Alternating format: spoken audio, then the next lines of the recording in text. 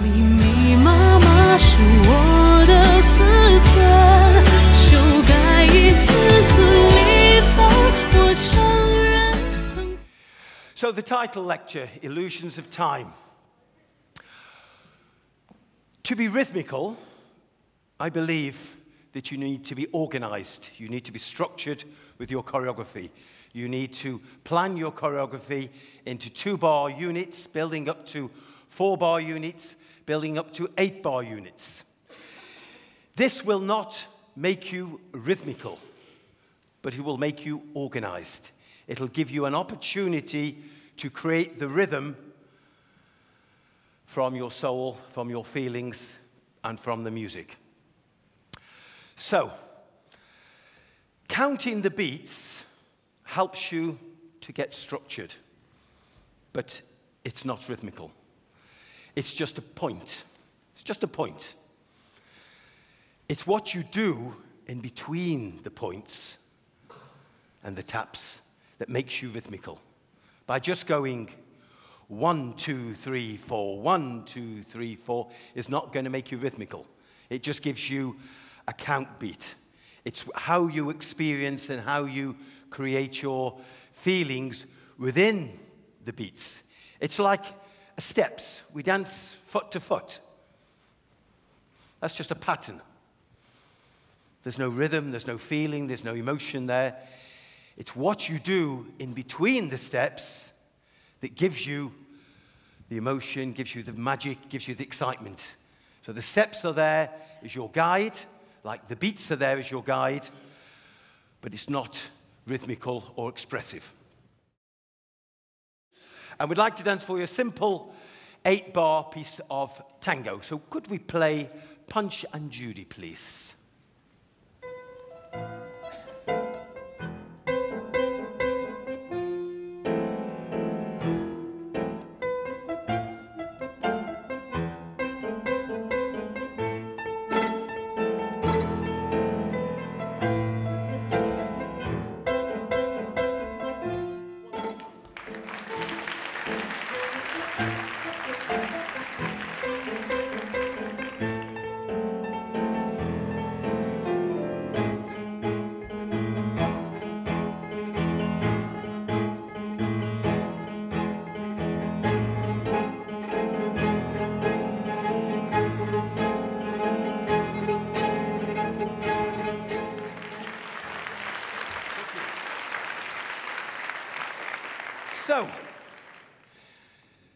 Beat values.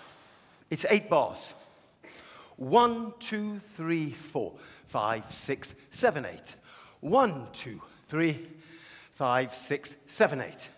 One, two, three, four, five, six, seven, eight. One, two, five, six, seven, eight. So that's just the counting. That's just to get yourself organized with the choreography. But as I said, it's not rhythmical. A quotation that I heard many years ago that I liked very much by a gentleman called John Delroy, who was our great teacher for many, many years.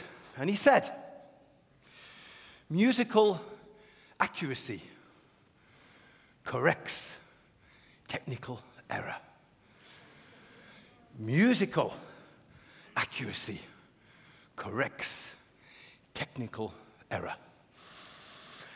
You can read in between the words of that.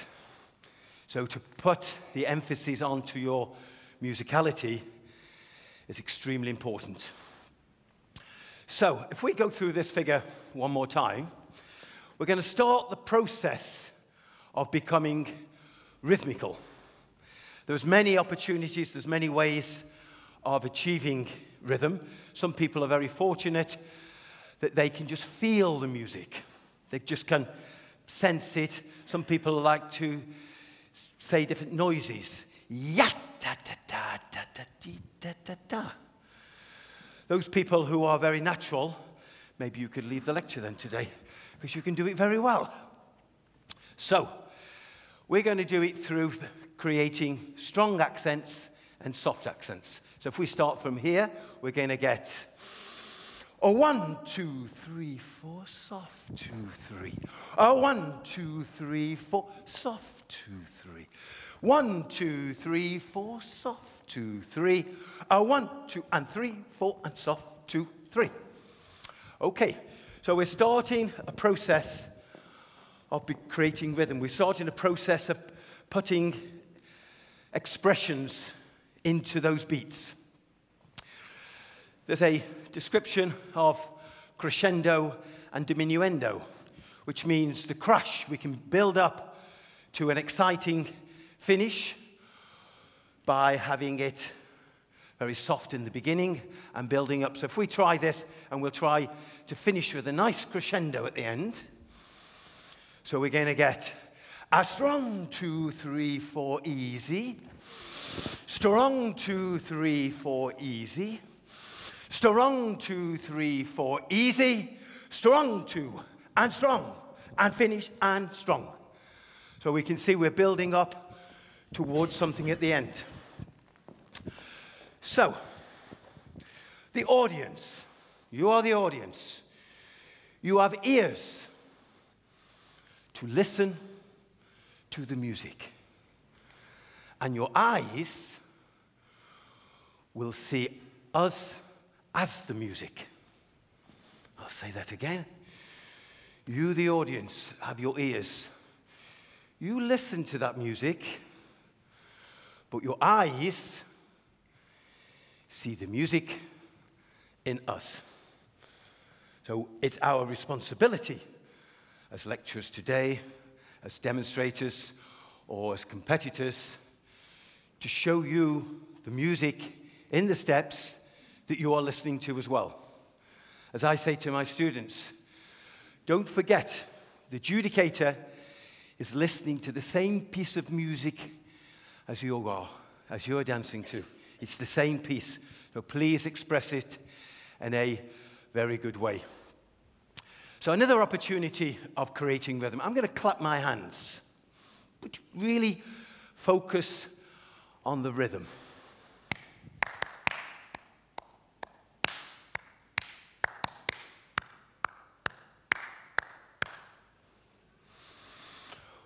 Would you like to join me and clap? I'll do one more time.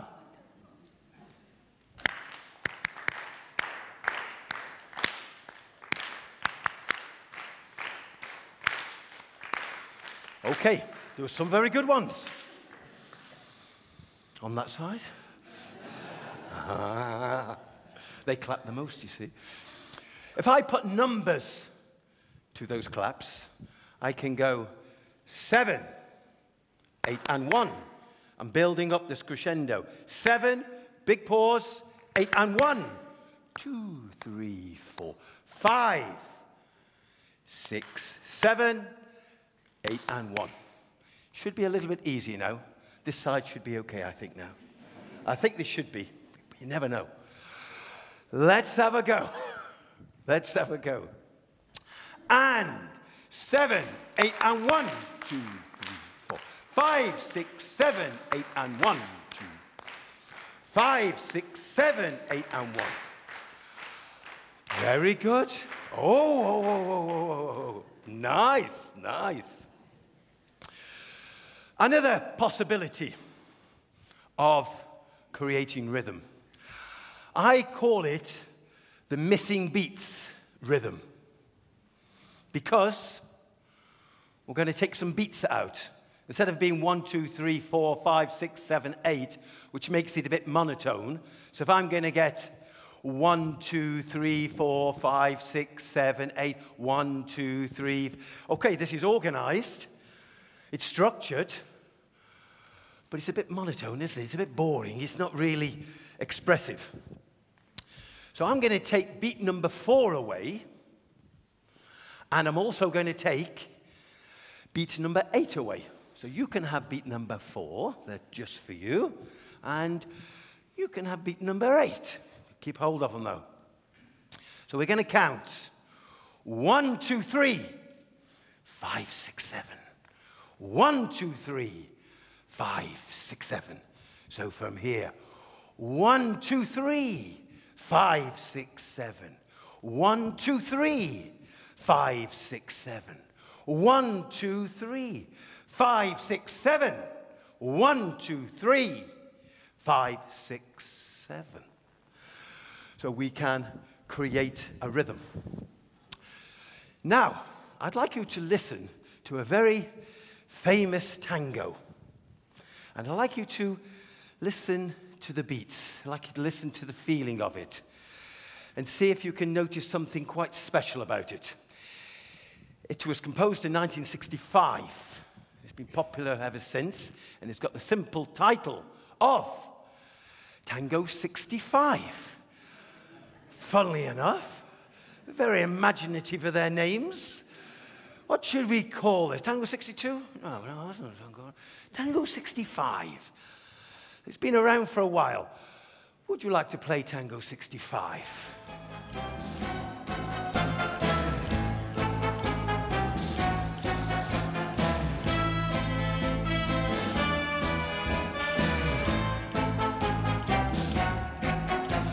Okay, thank you.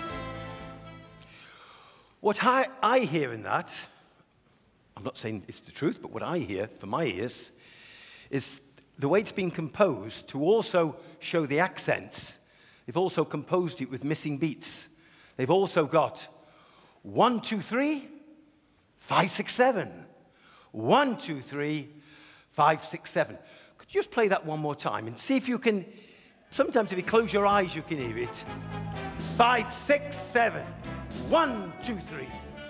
Five. Could we play from the beginning? Sorry.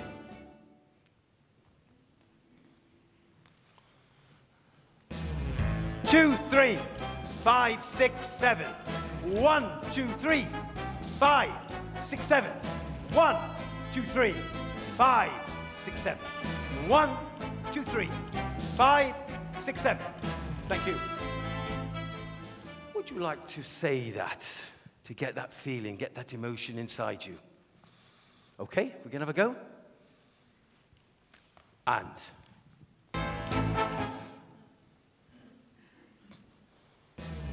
Two, three, five, six, seven. One, two, three, five, six, seven. One, two, three, five, six, seven. One, two, three, five, six, seven. One, two, three, five, six, seven. One, two, three, five, six, seven. One, two, three, five, six, seven.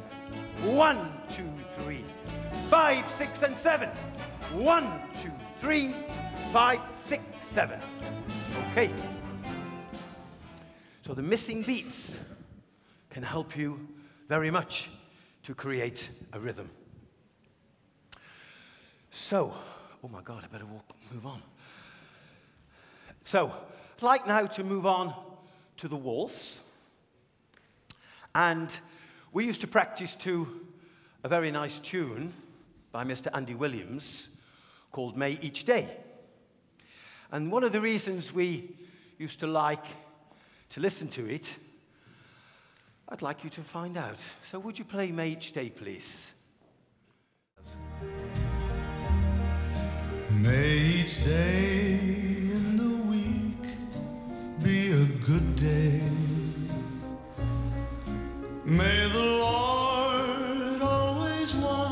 Okay, thank you.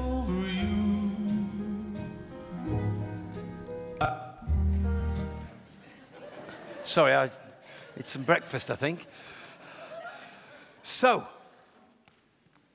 this big piece of music, first of all, you probably noticed it's only a two bar introduction, which catches many people out because we're expecting a four bar introduction.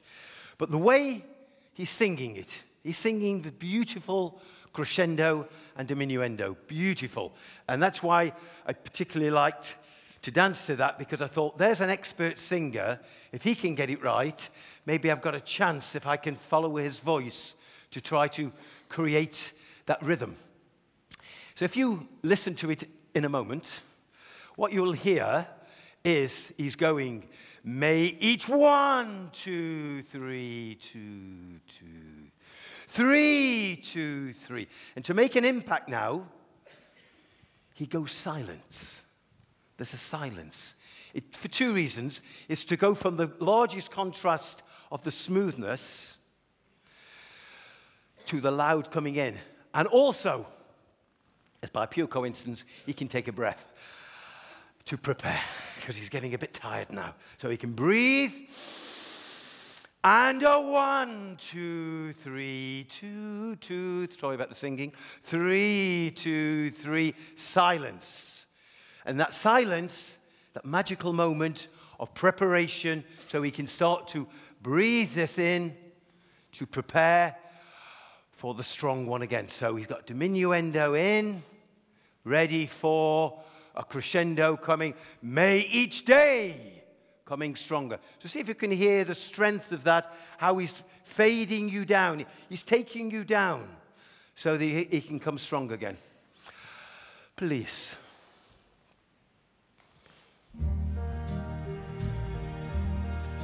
May each one and three silence. Each one, two, three, two, and three. And One, two, three, two, three.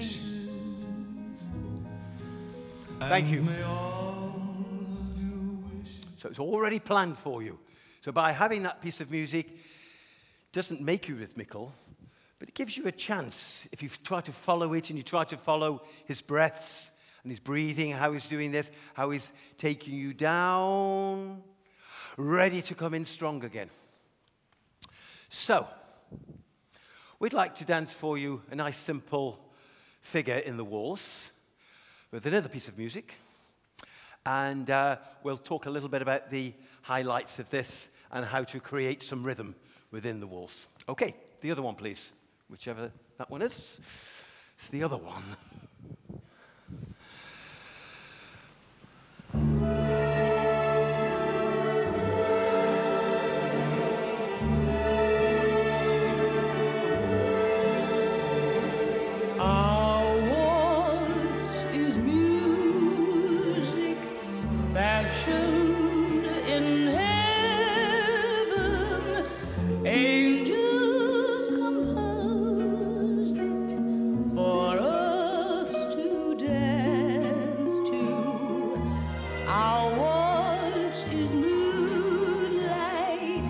trembling with kisses. Each note a heartbeat, throbbing with love. Angels.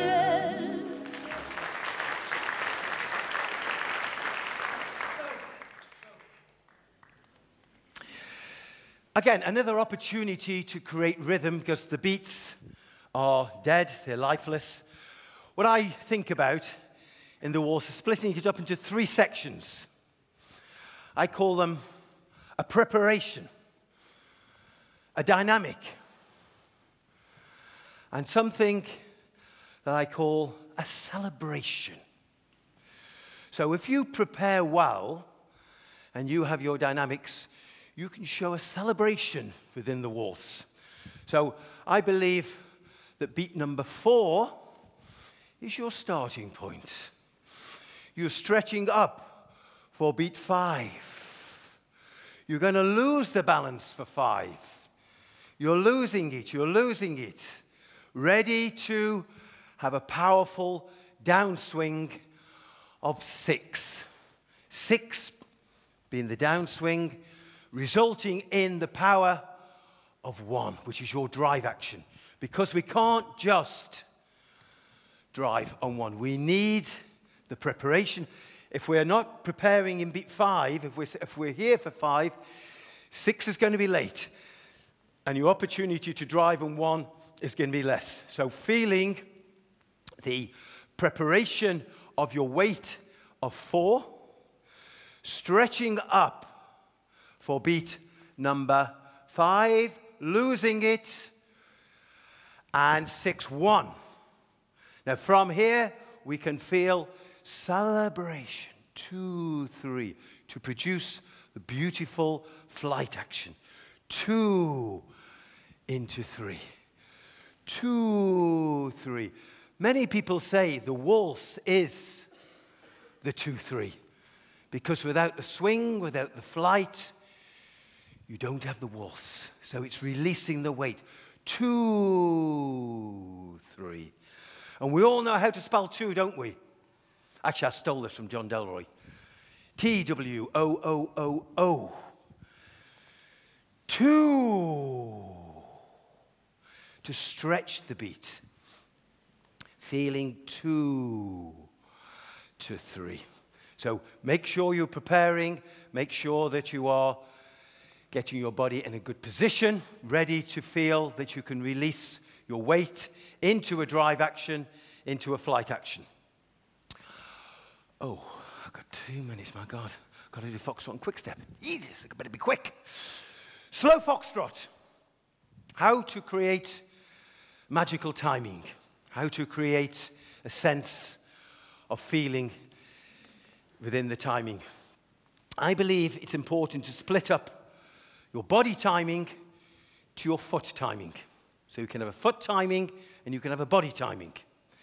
Because the, the timing of the figure will not give you any rhythmical interpretation. If you dance slow, quick, quick, slow, quick, quick, that's the timing structure of the figure, saying that it's two beats, it's physically two beats on the first step, and it's a one beat and a one beat. But it's lifeless, there's no expression. You, as the instruments, you, as the dancers, need to bring it alive. So, a timing possibility, it's only what Anne and myself have been thinking about, is to think from here. The timing of the feet is going to be slow, slow, and. Slow, slow, and. To be able to feel the lowering on the slow. Sometimes I practice slightly different than that and extend the last and to feel slow, slow and move. Slow, slow and move. Sometimes it takes you out of the timing, but it's a gamble you have to take sometimes. Sometimes you need to take chances to become special. If you're always spot on and perfect, it's not always special. So there's the feet timing. But now we've got the body timing. So the body, because we've got rotation, because we've had a wind up, ready to have a weight release, we've got a wind up here. So the body's got to go from this position to this position on the first step. We've also got a downswing, which is also going to create an energy. So we've got a downswing as well. The second part, the downswing is finished. We're going to commencing the rise. So it's slowing down. I don't think it's quite as slow yet, but it's definitely not the quick. So I call that a medium timing. I know there's no such thing, but it's just for to give it a name so I can relate to it.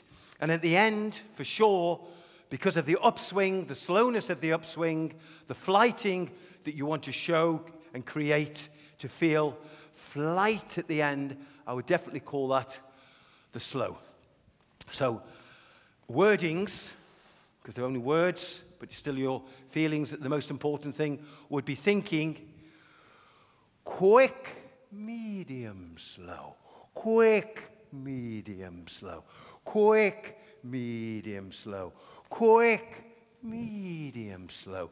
To have a quick release into a slowing down version, could you say it's a slower version, into the flighting version.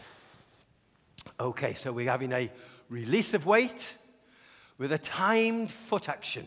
So I suppose that's the tricky part, timing your feet and then timing your body.